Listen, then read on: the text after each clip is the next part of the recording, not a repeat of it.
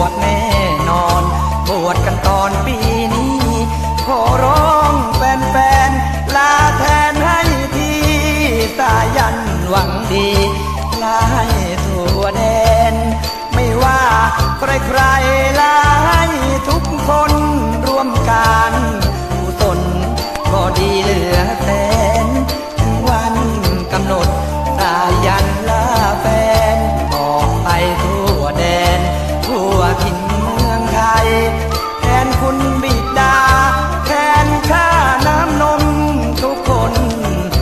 ม